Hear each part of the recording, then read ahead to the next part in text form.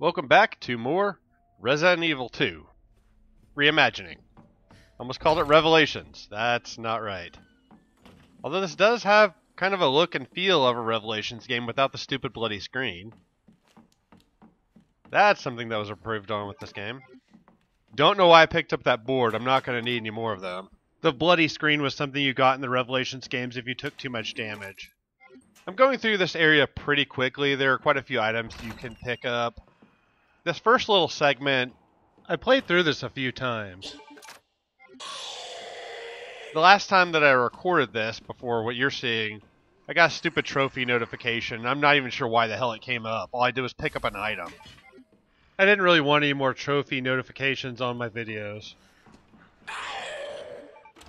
Fortunately, I figured out how to turn that off finally.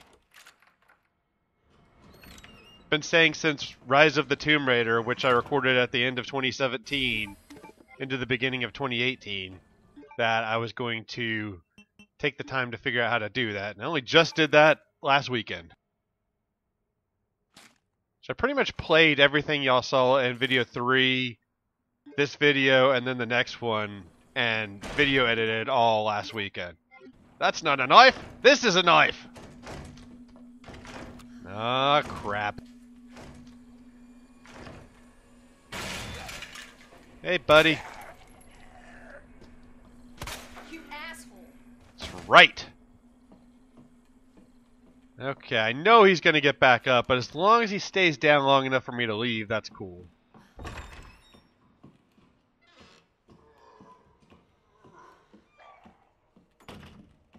Wouldn't be the worst thing in the world.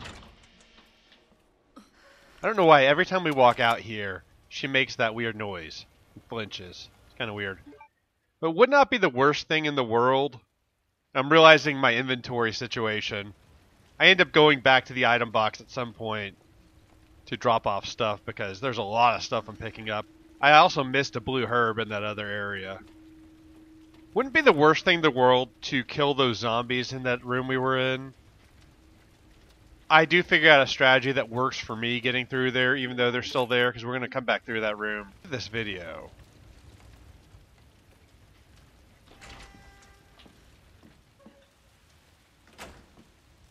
Come in here. There's a red herb in here. As you can see, that helicopter crash has done some damage to this area of the police station. But that's not what I want to deal with right now. I want that red herb. Which I believe looks pink. Which is strange.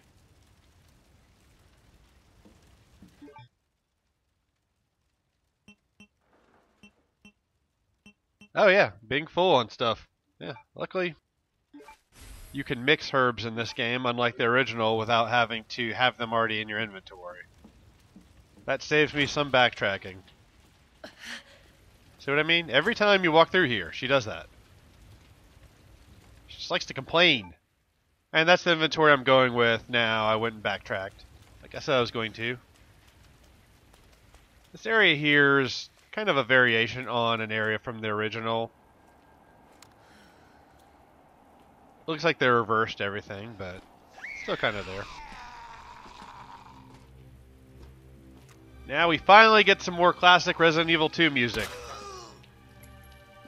You know, for this being a paid DLC, you really would have thought you would have had more of this classic music.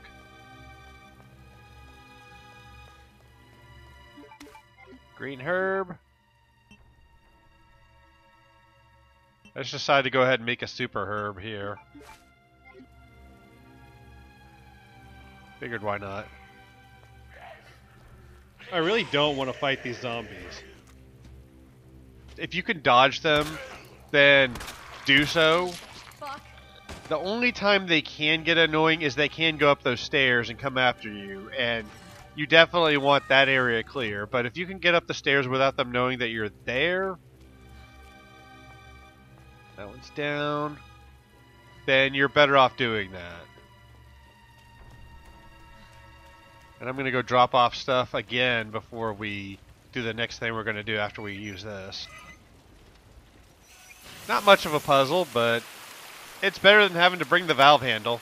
which we can't pick up anymore since we used it. And I like that because that means when we get to the sewers, no carrying a stupid valve handle everywhere. So that is a win on the designers of this game's choices. Alright, well now we can progress back to the other part of the police station. Unimpeded? Fuck, maybe not! Run, Claire, run! I want to say right now, I mentioned part of the original, the soundtrack to this game being pretty bad. That's actually, well, this is one, this is Mr. X. Watch out for him. His theme for the original soundtrack of this game is pretty terrible. But as you can hear, I've got the Resident Evil 2 classic soundtrack, which is awesome and perfect for this situation. It's just like some weird techno thing, and doesn't work. It's very generic and uninteresting. But this music fits this situation perfectly. And I like the audio cue, like it just plays as soon as he sees you. And he's also going to be hunting you down. And you want to try not to run too much because he'll hear that. And he can follow you in here. And he's a bit of a jerk.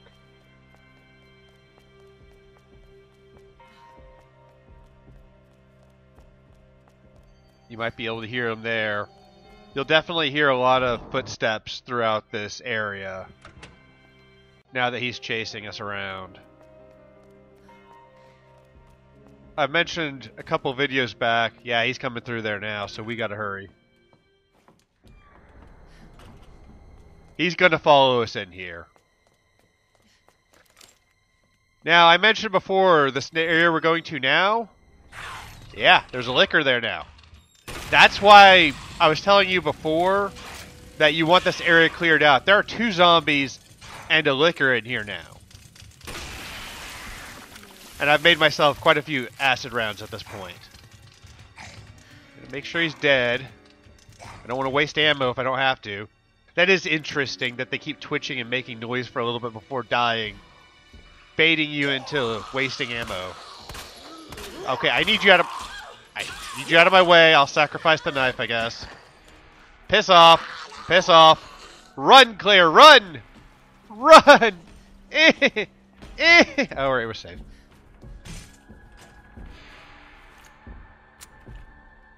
That definitely adds to the tension, having him walking around looking for you. In some ways, it's kind of more annoying than anything else because you just want to go somewhere and he's just right there, but it's a really interesting idea. And if they can expand on it a little bit and perfect it, and you guys are seeing everything that I'm doing right now, except me having to walk all the way around a bunch of the areas just to get them to go away so I can do what I want to do. You didn't have to deal with that. But other than that, yeah. I have to poke my head out here. See if he's there. Of course he's there, so now I gotta wait. So in some ways it's kind of annoying, other ways it's really cool. Not sure what he's squishing on there. And those footsteps are pretty dang intense. When they make remake 3, I'll be really curious to see how they do Nemesis based on this. Revenge! Alright, we need to get back into that save room. This is one of the few rooms in the game he will not fall you into. I guess the designers knew that they needed to give you a couple of save spots. That save room we started this video at, he won't follow you into there. I didn't know that while playing, though. I only found that out recently, which is why I'm going to be panicking a little bit at the end of this video unnecessarily. But that's alright.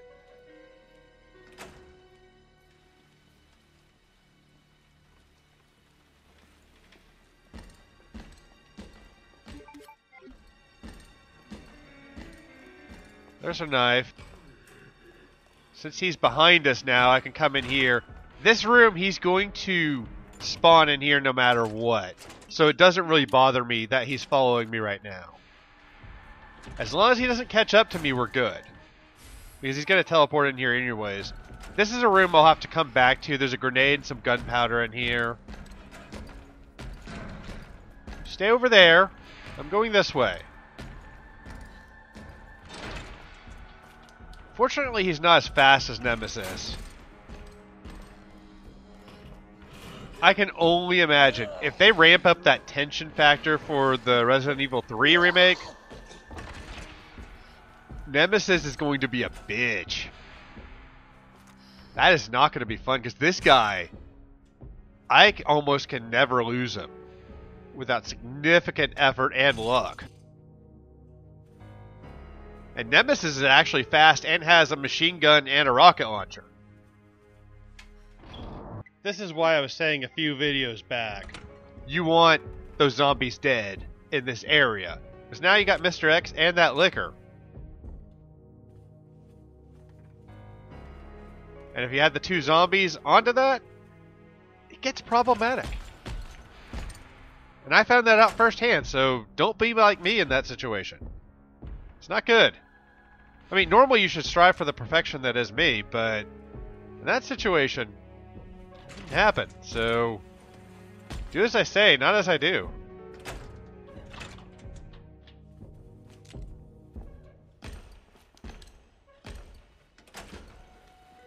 At some point, I just decide to take the chance and hope he's walking the other way. I can't really tell where he's going. Sounds like he's walking away now. As long as he's not hanging about up here. Hey, you be quiet! Nobody asked you! Don't be giving away my position. Stupid zombie. I'm surprised he doesn't attack the zombies, though. You'd think he wouldn't really be able to identify the difference between a person and a zombie. So he's on the first floor, and we can still hear him stomping around. And you can't kill him either. Technically, in Leon's campaign, he's your final boss, so you do end up killing him in that. But there's no continuity between the stories, Leon and Claire's. Unfortunately. So we picked up that USB thing. That's another lack of attention to detail. I'm pretty sure they didn't have USB in 1998. Whatever, we'll pretend it's a floppy disk. How about that? This is the optional thing I mentioned last video, I believe it was. Yep, pick up a machine gun. The STARS office is another place that he will not show up in. This is a weird letter from Chris where he's writing to his STARS members, This does not sound like Chris. talking about a vacation. I choose to believe that rather than give us the good backstory that we got in the second game, we do want to take that back with us. It'll have another use later. I'm not. I think I know where we need to use it. I just don't know how to get back there yet. Leave. I choose to believe that they decided to investigate Umbrella in secret in this version. Oh, there's a Licker over here. And I want to kill this Licker Simply because if I need to wander through here and Mr. X is chasing me, I don't want to have to deal with him and the Licker. That's just going to cause a lot more problems that I don't want to deal with. And I am going to have to come back through here because there's an item I'm not able to pick up. Not one I desperately need. Probably not worth the acid shell I used to get it, but you never know. It could be. Here's another new room. I choose to believe that they decided to investigate Umbrella in secret this time. And he's off in Europe, just like originally, to investigate Umbrella, but he decided in this case to pretend like he's on vacation so they wouldn't know that's what he's doing. Which, to be fair, would be kind of smart.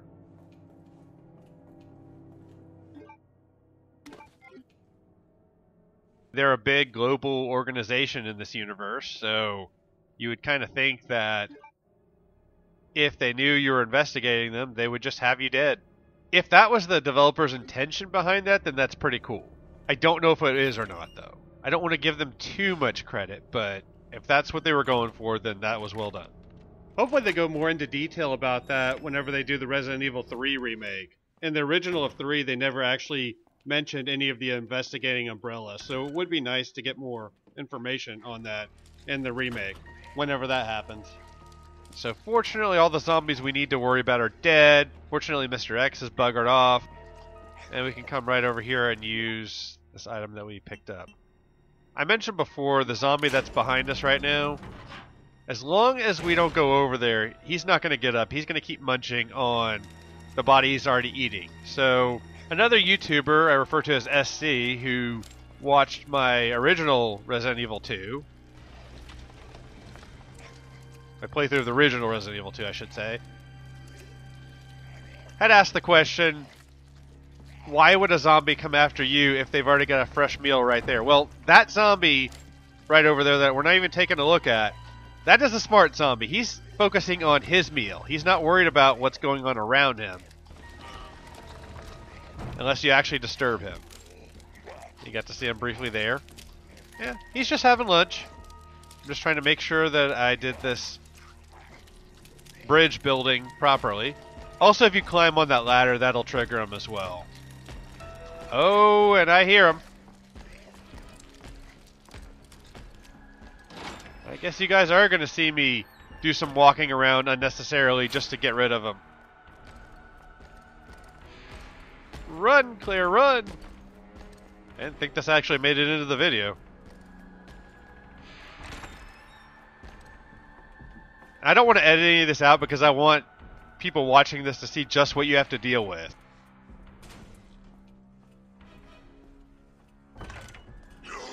Oh, bollocks, that zombie is not dead.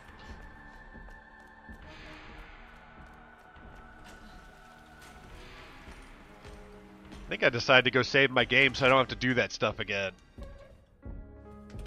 Not sure. Doesn't really matter for y'all.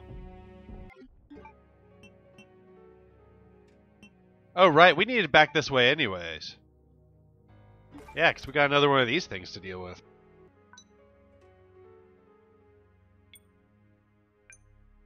It really works better when I do gameplay than do a video, and then gameplay in a video, but that leads to me not getting to play the game as much as I want. But then it does cause some problems when I try to remember what the heck we were actually doing in each of these particular segments. I'm pretty sure every one of these videos I've forgotten something about what I was doing at the time. I did save my game there because I don't want to do that stupid puzzle again. I'm not going for rank. I'm just trying to get through the LP.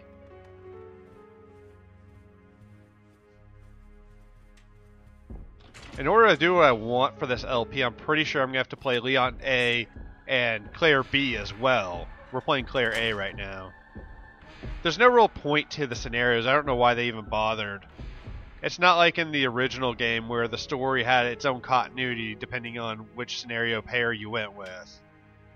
It's basically the same game either way. It's just the B scenario gets the boss fight and starts off the game a little differently. As far as I know, everything else is exactly the same. Which is really a shame because they really had a chance to expand. Even if they just wanted to do one story for Leon, one for Claire, and have them line up. Oh god. Run! You people are right where I want to be! That's right, like I said before, not editing this out. I want you to see exactly what I had to deal with. Just trying to get to the locker room.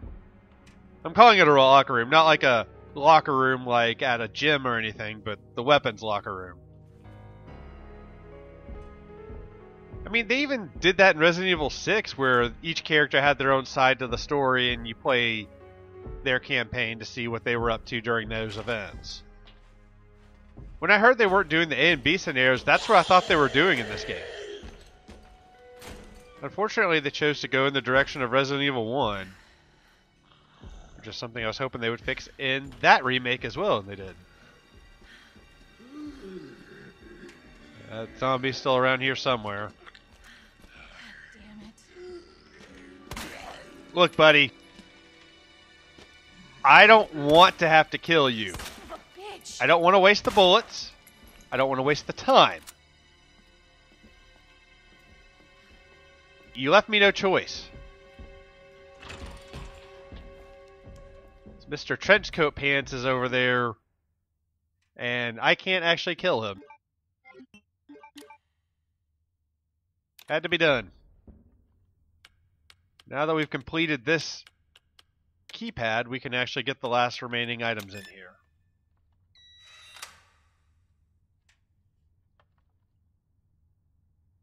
It's just a knife, which isn't all that useful, and then we get another hip pouch, which is very useful.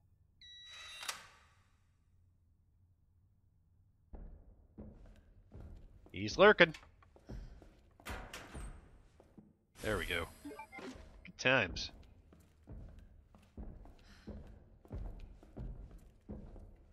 Basically, this is a solid game that could have been great with a few changes, especially with the story and the scenarios. I hear him walking. I actually wanted out the door, but whatever.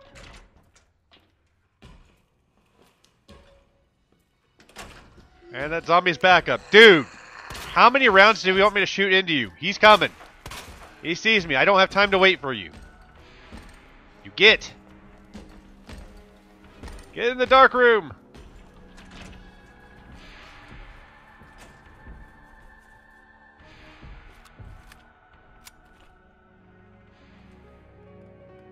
I don't know about you guys, but Mr. X, I don't think he's a nice person. I find it highly unlikely that he just wants hugs. I could be wrong. I thought everybody wanted hugs, but I don't think that's what he's after. I mean, if he was, I wouldn't be able to blame him. But I think his hugs would be deadly. All this talk of hugs. No, I want a hug. So now I'm going to be walking everywhere to try to not attract him. She's going to make this take longer than it should, especially considering you've already seen me go through this path once this video.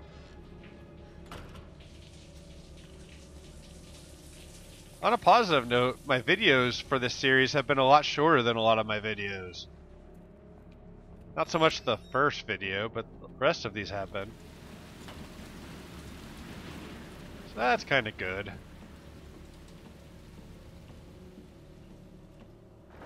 This is why I wanted that Licker dead.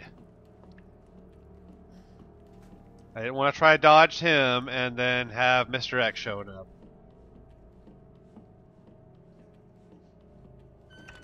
I should suppose I could call him Mr. Angry Pants as well, but I already dubbed that Kratos' nickname. Also Mr. Smiley, which I think is perfect for Kratos.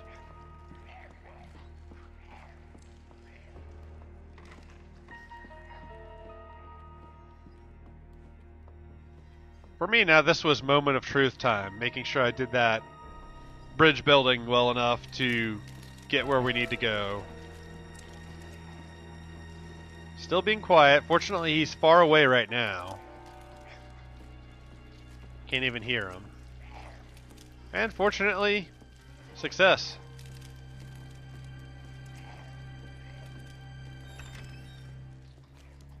He can go up in here and will, so be mindful of that.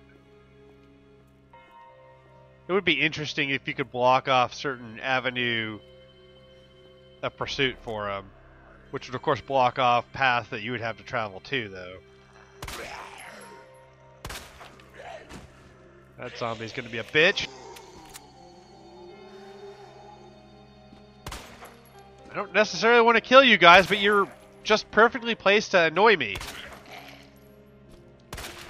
And you're dead now anyway, so I'm good with that. I hear footsteps. I hear he can't walk into this room. I don't know that for sure.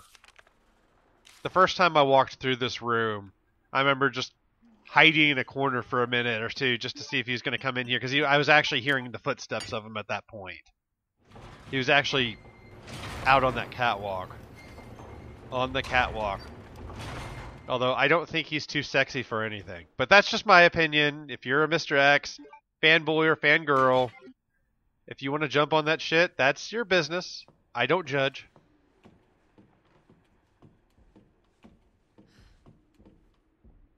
And I learned from trying this the first time.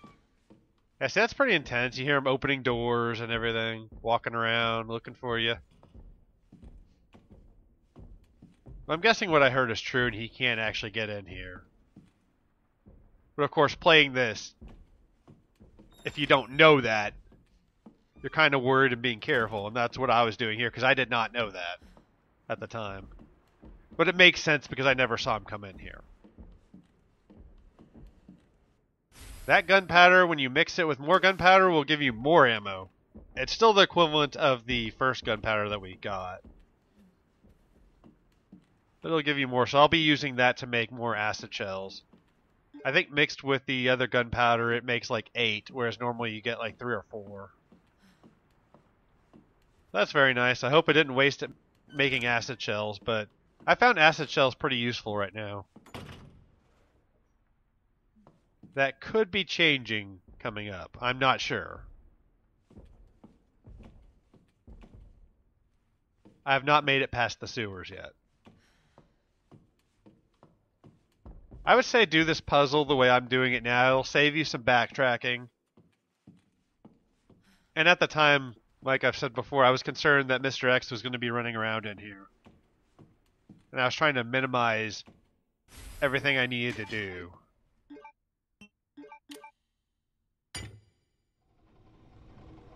Yeah, big gear goes there, little gear goes downstairs.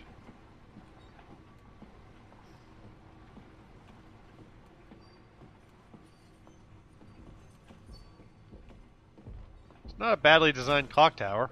I thought for sure he was coming in here at that point. I don't know what doors he's opening up, but I thought for sure he was coming in here there. That would have made sense too, considering we're doing something to progress in the game, and usually that's when he'll be triggered by a scripted event.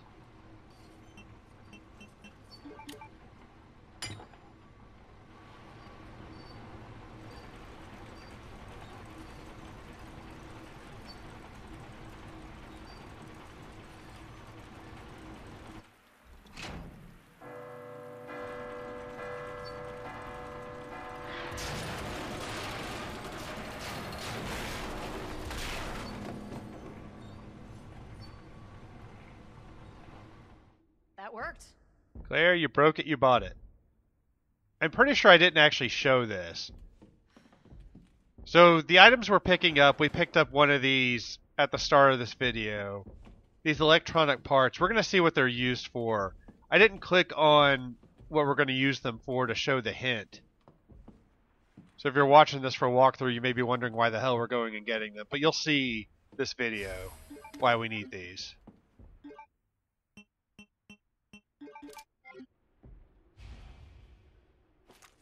Yeah, looks like we got a checkpoint. Sweet.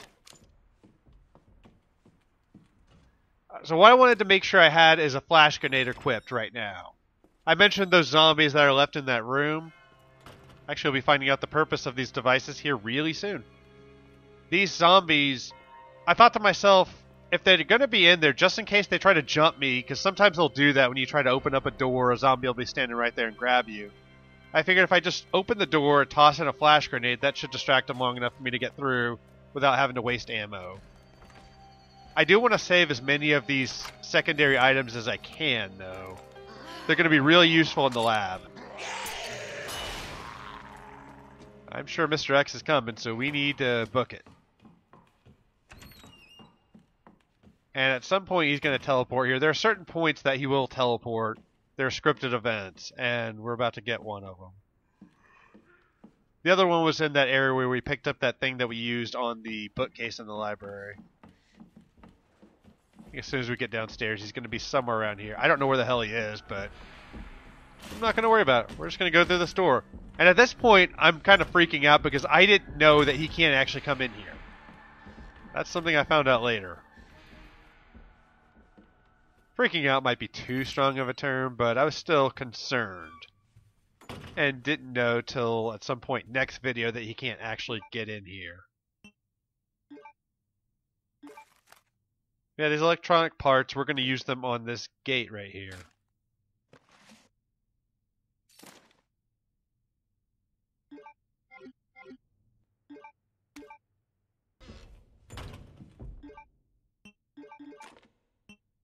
Must have forgot the other electronic part. You put them all in and you make this weird little puzzle. It Does take me a little bit to get, but it's not too bad. It reminds me a lot of the puzzles you get in Onimusha. All four of those games had these different kinds of puzzles that you could do to open chests and get different kinds of health and magic upgrades. Sometimes you got items.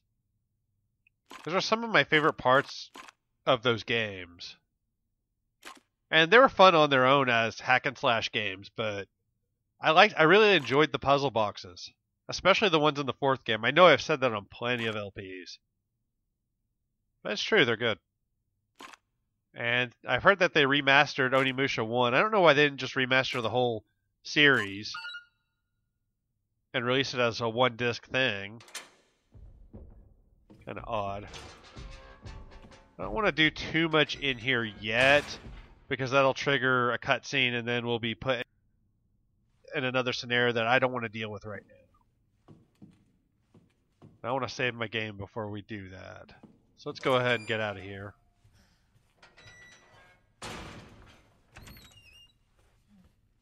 Mind you, at this point, I'm still thinking he can bust in here. Once he violated the sanctity of the main hall of the police station, I figured nothing was sacred.